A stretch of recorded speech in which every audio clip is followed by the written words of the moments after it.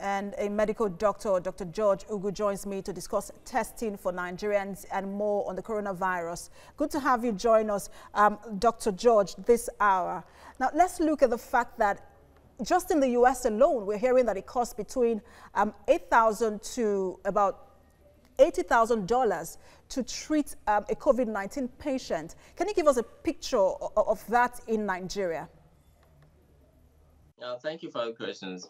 Yeah, um, in Nigeria, really, I think the testing um, is free of charge, um, as far as I'm aware. Um, and going to the NC, Nigerian Center for Disease Control, um, I think they follow the criteria, the WHO criteria for testing.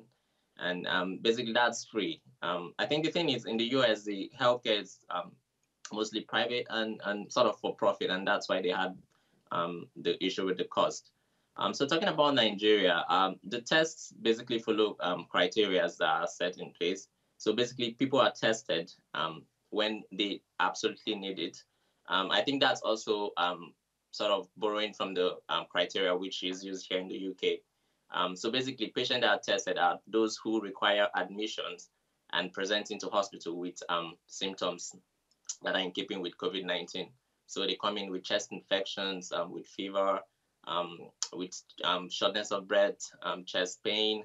And so when they come with those symptoms and and and so then they and they require admission, then they have to be tested um, in order to um, define management plans. Uh, for patients who do not need to be admitted, um, they are asked to go and self-isolate. And, and the reason for this is that really having a positive for most people will not change the management plan because the majority of people, I think over 90%, would actually not present with symptoms and they would they would most likely have mild symptoms. So they're asked to stay, remain at home, self-isolate, and and of course physical distancing is very important. Um, carrying out all the um, public health um, um, instructions have been given, hand washing with soap and water, and coughing into your elbows and using tissue and um, disposing them appropriately. And so all this measure really helps to prevent the transmission of the virus while you're at home. All right, please allow um, me allow me butt in here.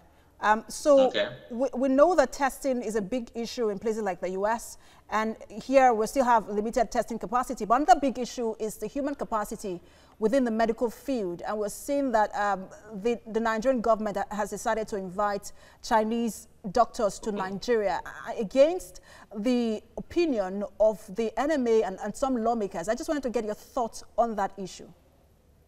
Well, I've been speaking with a couple back in Nigeria, and um, the truth is, most of them aren't very happy with the development. And the thing is, if the government is able to provide support for the for the Nigerian doctors that are there who actually need this um, equipment, who need this uh, facility in order to be able to care for the Nigerian patient. And then, so when you're having additional help coming in, it wouldn't be a problem. But the thing is, most of them are not getting the, the equipment they need to safely work um, in the hospital environment and also to care for the patient. So it's sort of frustrating for them to now have to know that the government is paying people to come in into the country, spending the money they should normally spend on the Nigerian doctors and patients.